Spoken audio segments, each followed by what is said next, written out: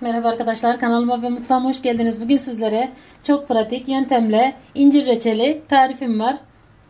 Akşamdan şekere ıslatmamıza gerek yok. Bu yöntemle hemencik yarım saat içinde reçelimizi hazırlayabiliyoruz. Şimdi dilerseniz sizleri bekletmeden hemen yapımına geçiyorum.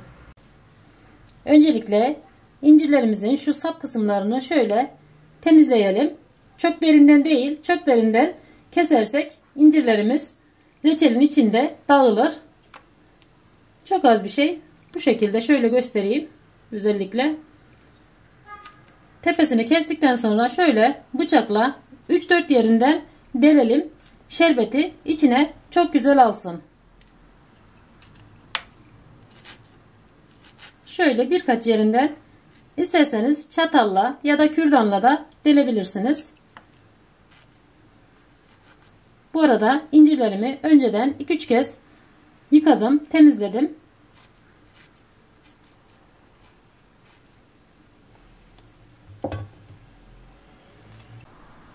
İncirlerimin tepesini ayıkladım, hazırladım. Burada 1,5 kilo incirim var. Kenara alıyorum hazırladıktan sonra. Tencereme 1,5 kilo da şeker aldım. Üzerinden bir buçuk su bardağı su ilave ediyorum.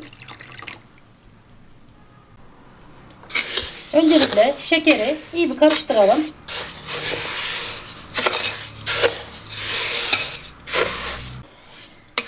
İyice karıştırdıktan sonra şimdi reçelimin şerbetini kaynatmaya geçiyorum. Reçelimin şerbeti kaynamaya başladı. Şimdi 6 dakika kadar kaynatacağım. Ne kadar kaynattığımı da sizlere detaylı detaylı söyleyeceğim. Ara ara karıştırarak şerbetimi tam 6 dakika kaynattım. Kaynamaya başladıktan sonra şimdi incirleri içine ilave ediyorum.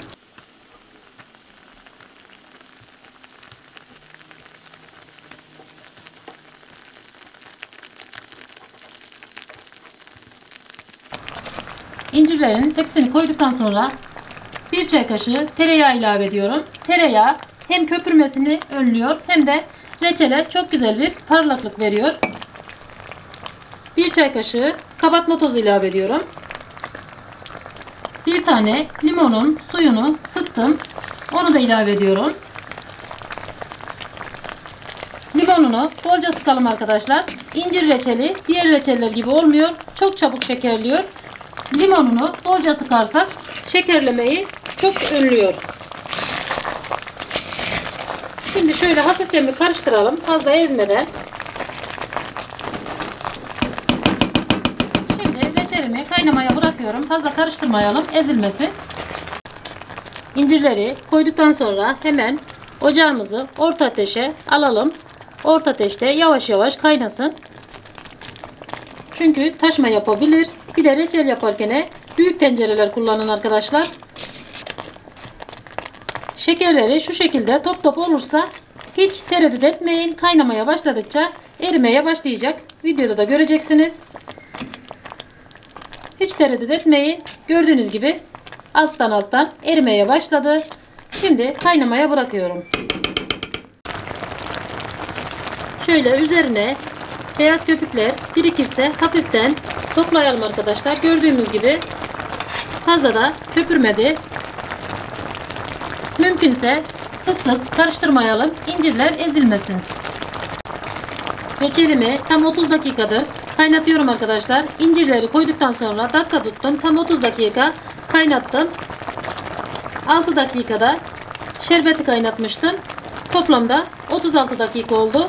Şu şekilde ara ara karıştırmadan şöyle içine bastırdım. Gördüğünüz gibi incirlerde bütün bütün tane tane kaldı. Dediğim gibi fazla karıştırmayalım. İncirler içinde bütün bütün kalsın. Gördüğünüz gibi çok güzel reçelimiz oluyor arkadaşlar. Şimdi kıvamını kontrol etmeye geçiyorum. Yarım saat olduktan sonra. Bunu hafiften soğutup sizlere hemen göstereceğim. Çok az bir şey. Reçelimi soğuttum arkadaşlar. Kıvamı çok güzel olmuş. Soğuyunca biraz daha kıvam alacak. Çok güzel olacak. Fazla da sertleştirmeyelim. Dediğim gibi incir reçeli çok koyu olursa çok çabuk şekerleyebiliyor. Bu kıvam gayet güzel olmuş. Orta ateşte yarım saat kaynattık. Şerbetten hariç. Şerbetle birlikte 36 dakika kaynattık. Şimdi ocağımızın altını kapatalım. Sıcak sıcak vakumlamaya geçelim. Şimdi sıcak sıcak kavanozlamaya geçelim. Ben 1 litrelik kavanozlardan kullanıyorum. İsterseniz yarım litrelik, isterseniz 300 milimlik kavanozları kullanıp koyabilirsiniz.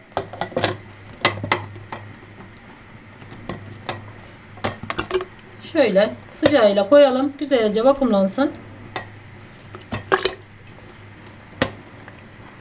İsterseniz dolapta saklayın arkadaşlar. Dolabınızda yer varsa, dolabınızda yer yoksa güneş ışığı almayan serin ve gölge yerde saklamak üzere afiyetle reçelinizi tüketebilirsiniz. Ve bu yöntemle istediğiniz kadar kışlık reçel yapabilirsiniz.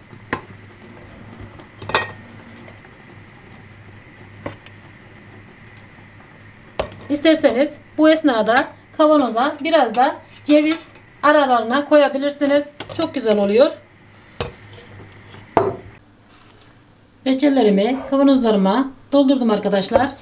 İki tane kavanozum çıktı. Biraz da fazla geldi. Onu da yemek için ayırdım. Şöyle etrafını temizleyelim. Şöyle de reçelimi göstermek istiyorum arkadaşlar. Gerçekten de kıvamı çok güzel bir reçel oldu. Şöyle de göstereyim. İncirleri de hiç dağılmadı. Gördüğünüz gibi. Umarım sizler de dener ve beğenirsiniz arkadaşlar. Şimdi bu dolaba girdi. Soğudu mu çok güzel bir kıvam alacak. Evet arkadaşlar. Bugünlük tarifim bu kadar. Beğenip paylaşmayı, yorum yazmayı, kanalıma abone olmayı lütfen unutmayın. Zil sesini açarsanız başka tariflerimden haberdar olabilirsiniz. İzlediğiniz için hepinize ayrı ayrı teşekkür ediyorum. Kendinize iyi bakın. Hoşçakalın.